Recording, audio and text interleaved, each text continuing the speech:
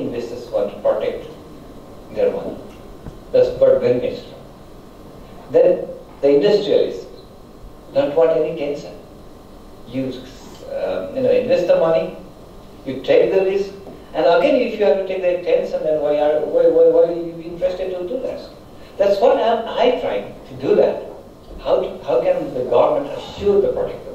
That basically it's a legal provision, I believe that. So that's what I'm, what I, we're working. You know, I, I told that within three months we'll make an action plan. When I came here, within three weeks I make an action plan, and uh, we had a midterm review just before two days.